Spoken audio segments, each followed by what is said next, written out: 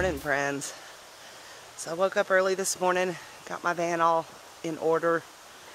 I thought, well, okay, I'm going to try to start it. It probably won't start, but then I'll go ahead and call the tow truck and get down to the shop by the time they open.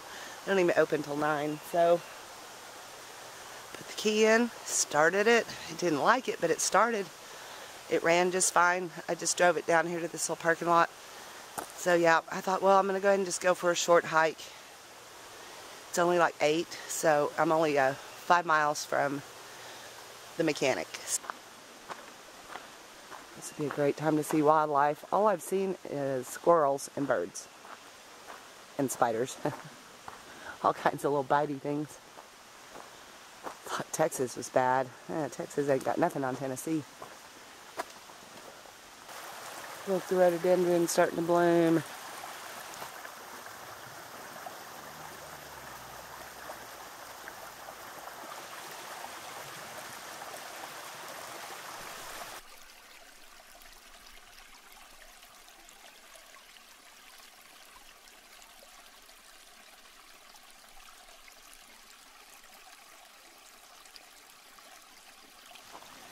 All right, do you have two starts in you today? Gee, I hope so. Wow, Erwin is just an adorable little town, y'all. Take the next right onto North Elm Avenue. Trying to find the mechanic. My van is limping. I can feel it. It's limping. I just hope it didn't die on me. Don't die. OMG. All I can say is this is crazy. So, yeah. My van literally died as I turned the corner and I coasted into the shop. And they have a sign on their door that says they'll be open at 9.30. So, because I'm going to hang out here for a while. Dang it. Alright, so I got to the shop right at 9 o'clock and I noticed there was a sign on the door that said, we'll open at 9.30. So I put, I waited for a minute. I tried to call the shop. Nobody answered because nobody was there. Tried to start the van to go down half a mile to the next shop. Van will not start. So I waited patiently and at 9.30 a truck pulled up and a gentleman got out and invited me in. Very nice gentleman. He gets out. I tell him my problem and he says, well, I don't have a mechanic here till Wednesday. So, what? It's Monday morning. So it turns out his son actually owns the shop, and his son recently went through quadruple bypass surgery. So obviously he's not coming in.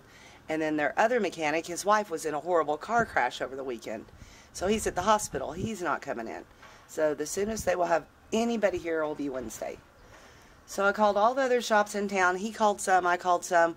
The soonest anybody can even see me would be Thursday. It's ridiculous. So it's Monday now. Yep, small town life. So I've got AAA, right? So I start calling shops all around. And the problem is also that nobody's going to have any parts in any of these small towns. So I ended up calling a Chevy dealership in Asheville, North Carolina. They can get me in today at 1 o'clock. So I called AAA and I said, hey, come get me, take me to Asheville. So they said, okay, yeah, we'll be there at 1230. Perfect. Well, I just checked my update on my phone. It says they'll be here at 118 yeah, my day's going great. So I called the shop back, told them I be, might be late. She said, no problem. Well, it's no problem because we're not going to be able to fix it today anyway. I just have that feeling. But that's okay. I'm not going to get stressed out. I mean, I'm going to be in Asheville, right? So I guess what I'm going to have to end up doing if they can't get the car, the van fixed today, I'm going to have to rent a car and load it up and go camping, I guess. That's going to be weird. I'm glad I brought my tent, though.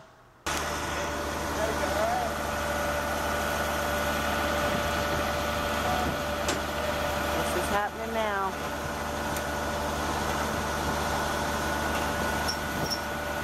Making a habit of this, buddy.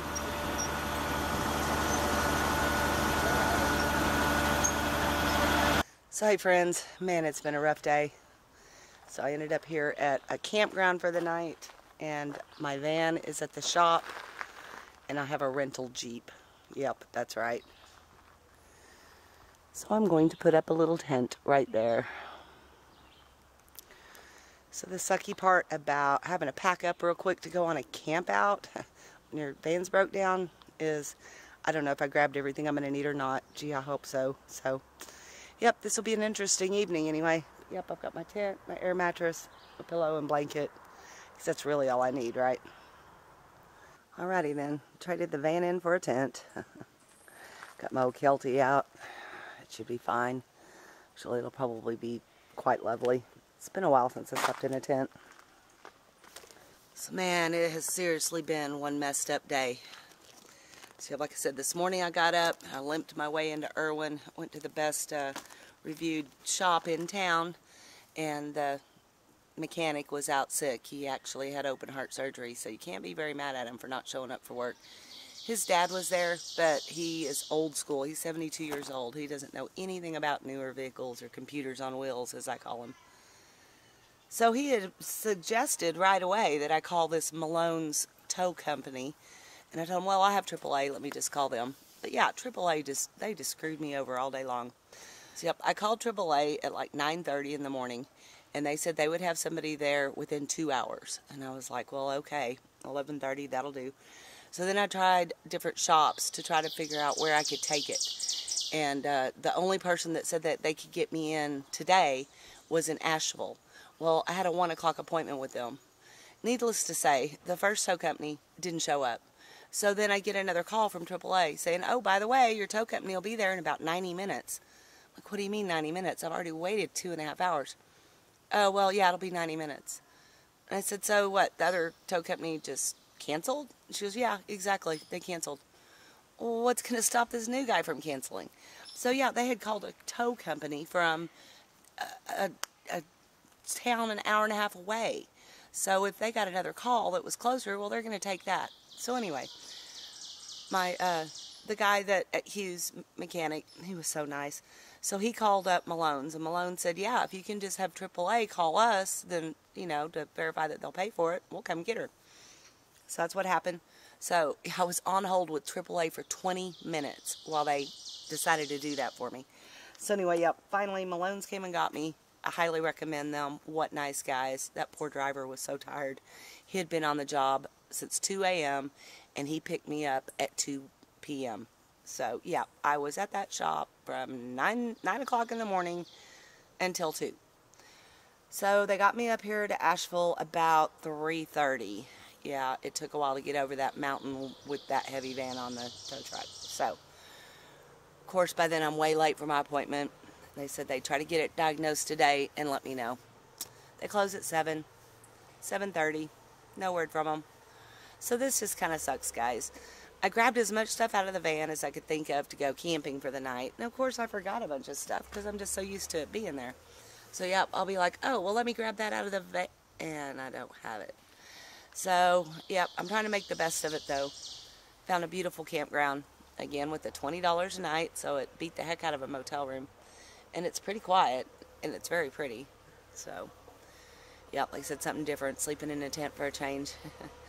yeah, I slept in tents for decades and decades, and this van thing's relatively new to me.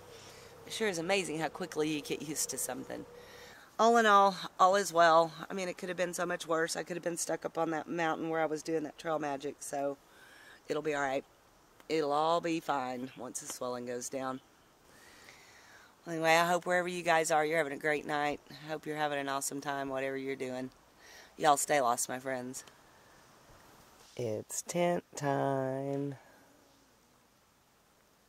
Yep, this is kind of awesome, guys. See what's out there? Nothing but darkness. Good night.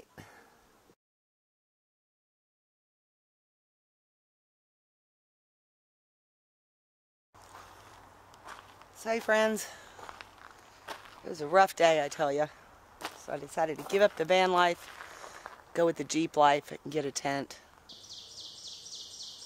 Oh, there's people going by, probably wondering who I'm talking to. And uh, I'm pretty sure I got into some poison ivy, and I sure wish I had some anti-itch medicine with me, but mm, that's in the van.